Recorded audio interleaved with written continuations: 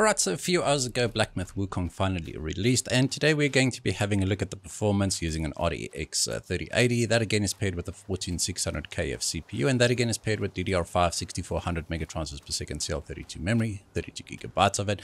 And I just quickly want to show you why I did not test on the cinematic preset in my previous benchmark video. I do believe that the cinematic preset is reserved for the Elite because over here 1080p cinematic with native resolution we're not able to maintain 60 frames per second. It drops into the low 40s even at times and that's just not what you want right especially for a game like this. Sure it looks good but 40 frames per second at 1080p should not be what you are aiming for right. So I got a lot of comments asking why did I not completely test the cinematic preset and this is exactly why right? And the same applies for the very high preset which we are going to be having a look at right now. And here you can see that the very high preset although we are able to hit 60 frames per second at times it's not a constant 60 frames per second. And this is still at 1080p native resolution. Sure you can enable DLSS but you you really then have to make a lot of compromises just to be able to get 60 frames per second even at 1080p so this uh, i did not even record the the 1% and the 0.1% lows for this part of the video. I just wanted to show you the performance using very high and cinematic on mid-range gpus yes the rtx 3080 is a mid-range gpu it's on par with an rtx 4070 and that pretty much falls in the middle of the stack right so as you can see, the performance is not, not really ideal. I'm having to record a voiceover for this video. I actually spent two hours recording this morning before work and then my my mic didn't uh, work. So for some reason, I've got no idea why. It, it really it's really frustrating. So I'm just uh, recording a voice over here. But now you can see, even if we drop down to DLSS quality or using the cinematic preset in this specific scene, we're not able to hit 60 frames per second. And that's just horrible. So and if we if we want 60 frames per second, even though it's not constant, we need to use DLSS performance. So that's a 540p upscale to 1080p. And I mean, you can do whatever you want. I'm just going to not recommend that. And even on the very high preset, here we are, very high preset once again.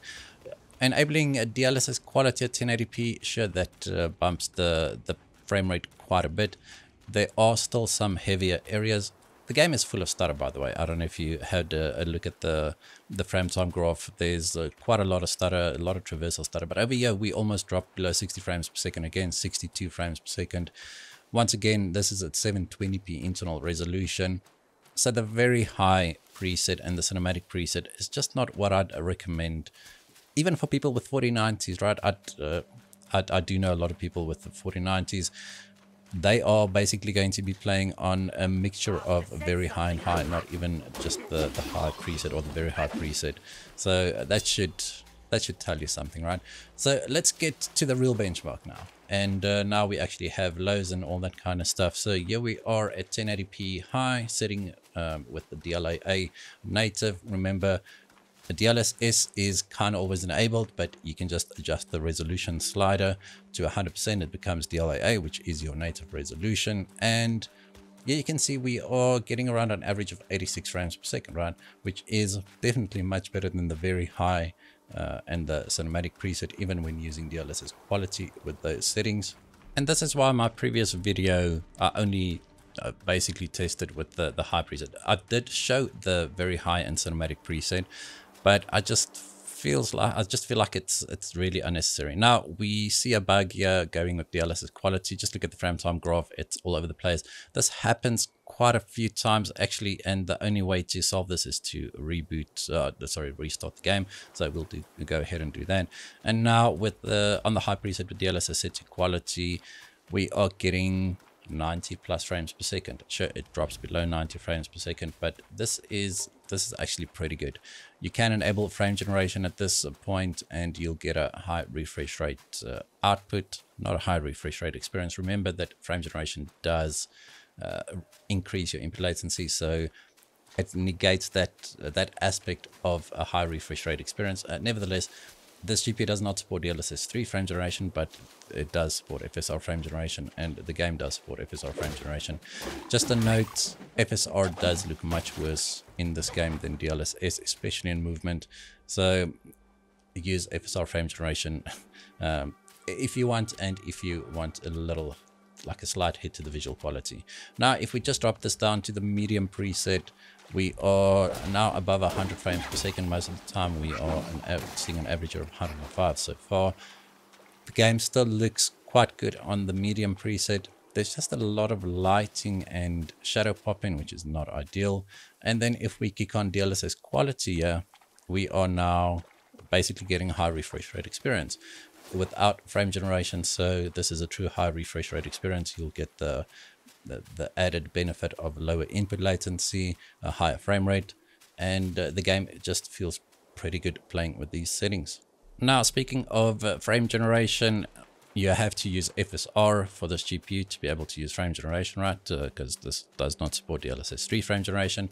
And uh, I'm just running on the native uh, resolution here. Once again, the FSR slider is set to 100%. And we are seeing 120 frames per second here, which is pretty good. The input latency feels quite okay. That's why I'm moving the mouse quite a bit. Just want to get a feel for the input latency. It, it really feels okay.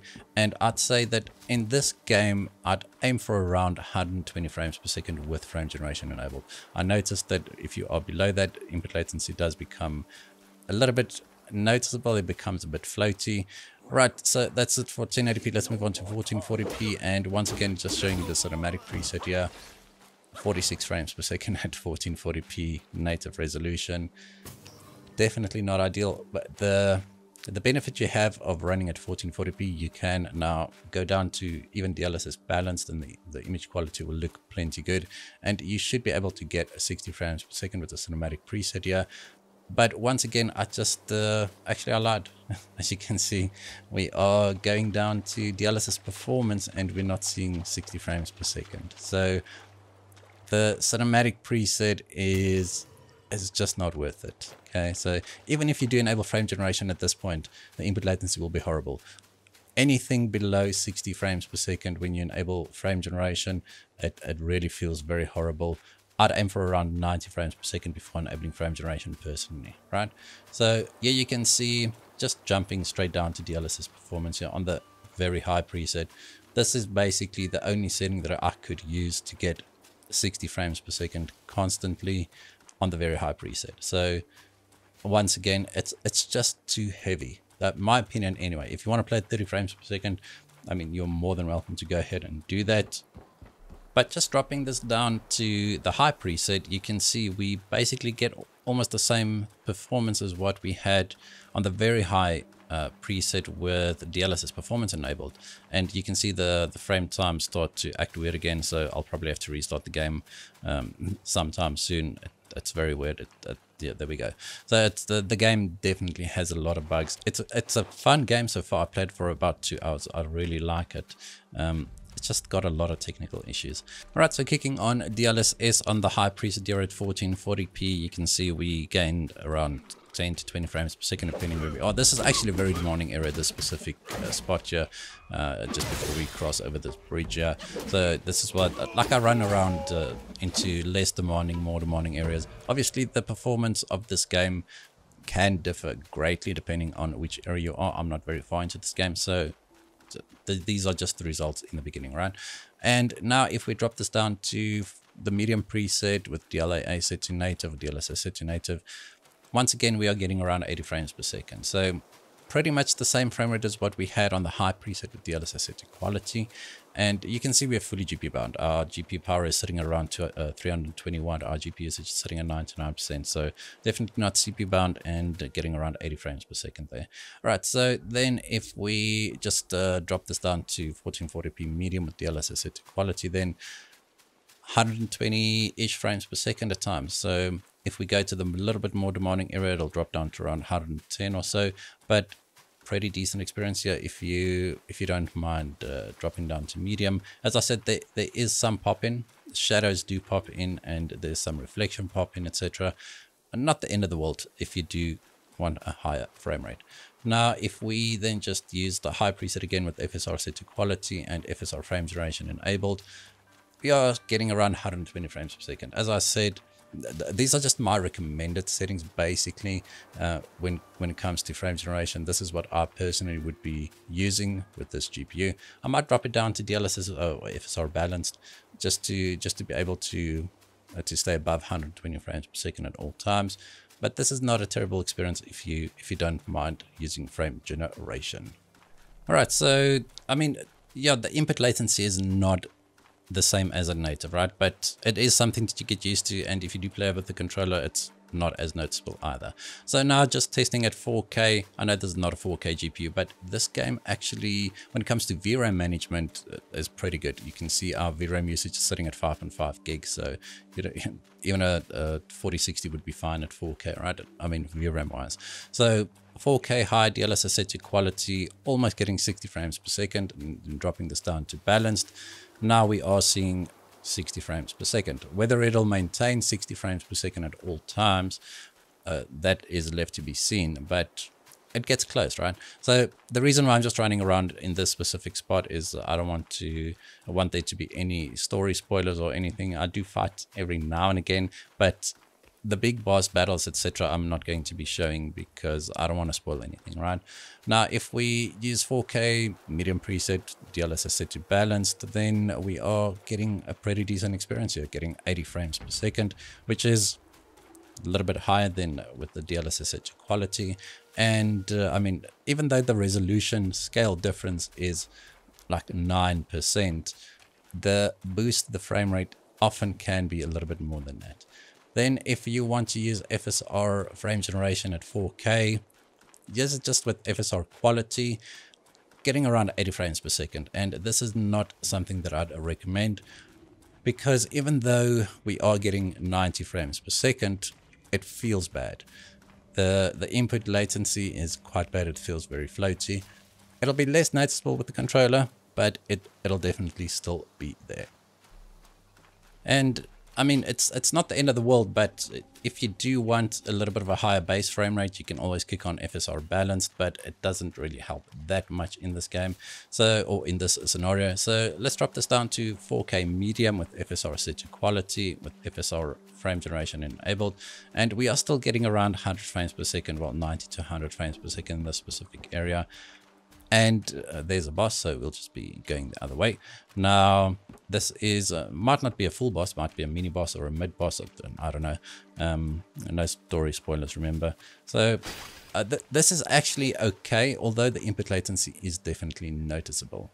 Now, if we start testing path tracing, remember RT very high is path tracing, 22 frames per second, 1080p high, uh, native resolution. This is horrible.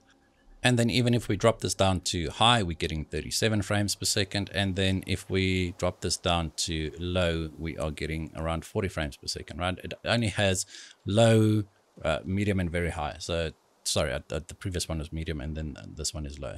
So RT path tracing within the 3080, probably not the the best use of this GPU. But yeah, we are actually able to hit 60 frames per second if we use RT low with FSR quality on the high preset, so 1080p high. And I mean, this is this is perfectly playable. It'll drop below 60 frames per second at times, and you can actually enable frame generation around at this time, but just be mindful of the the input latency. I, I know I keep on hammering about the input latency, but it, I mean, it differs between people so just make sure you are fine with it. Now if we kick on frame generation as i said we are now getting 105 frames per second which is a, pretty big boost almost double our frame rate.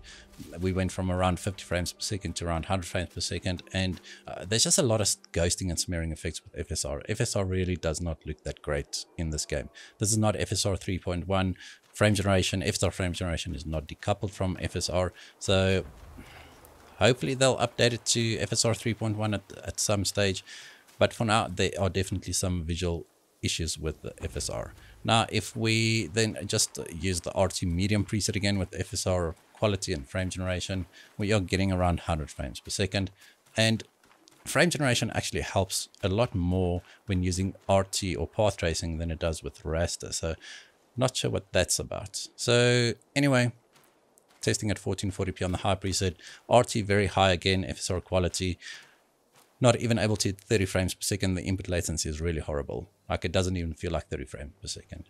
And if we drop this down to medium with FSR quality, we are seeing around 40, 45 frames per second. And if we use FSR balanced, then we're getting around 50 frames per second. Now it feels better. Input latency is not is not the worst here. And I just wanna uh, that's just a traversal stutter that happens every time you run past that specific spot. So I just want to test in this specific area. As I said, it's a little bit more demanding and there you go dropping down to 45, 47 frames per second.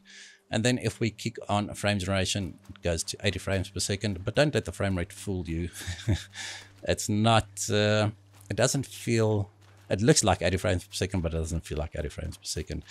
Because we are below 60 frames per second, it is very, very floaty. Dropping down from RT low to, oh, to RT low, we gain around six frames per second, so not even 10 frames per second or 10%. So it's, uh, it's really, I don't know, uh, use path tracing um, at your own discretion.